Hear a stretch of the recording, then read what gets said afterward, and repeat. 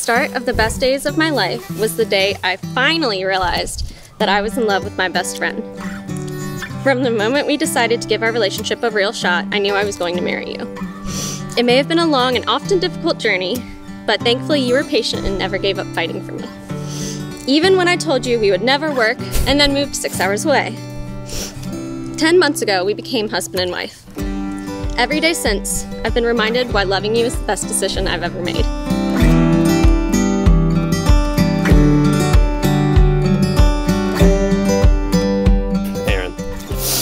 I truly can't believe how lucky I am to have found the love of my life at such a young age, no matter how long it took to convince you to date me. You've brought so much joy and happiness to my life. I feel like the most blessed man in the world. You are far and away the most loving and compassionate person that I have ever met. As we continue our married life today, I promise you these things. I promise to always be your best friend, to be honest, patient, and kind, to be loyal, the faithful, and to put you before all else.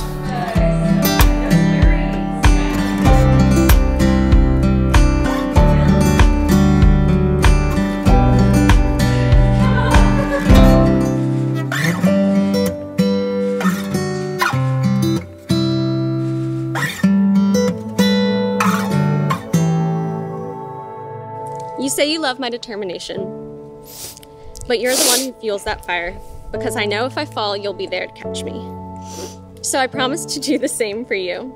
I promise to be your partner, your best friend, and your wife through thick and thin. I promise to respect and appreciate you for who you are and who you wish to become.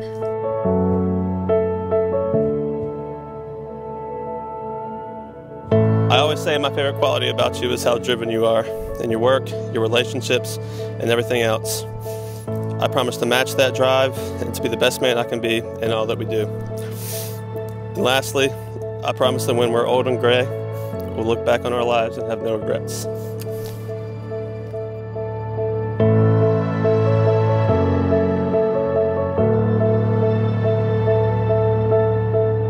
I promise to also not take it too personal when you choose to cuddle with the dogs over me.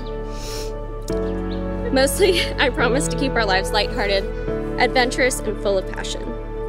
I promise to pursue you, to fight for you, Mookie, and to love you unconditionally for the rest of our lives. With pleasure that I conclude the ceremony of renewing the vows of marriage that joined you and binds you as husband and wife.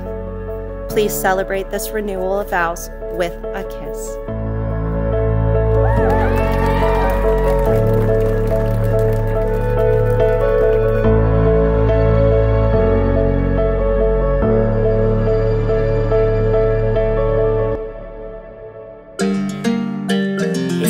Crazy to think back to that moment in time.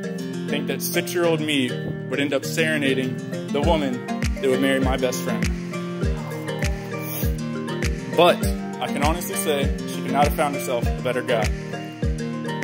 While COVID certainly threw a wrench in their wedding plans, they remained optimistic through the whole process and never lost sight of what was really important. I think I speak for everyone here when I say you two are meant for each other, and we're so happy to all be here today to celebrate you guys.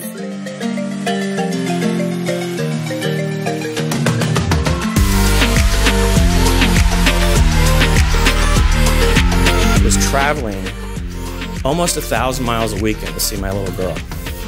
So a year goes by. She's still around. Two years go by. Hmm, this is kind of serious. Three and then four. And I knew at that point that I had to ask him some serious questions. He's obviously going to be a big part of my little girl's life. Well, I asked him what baseball team he liked.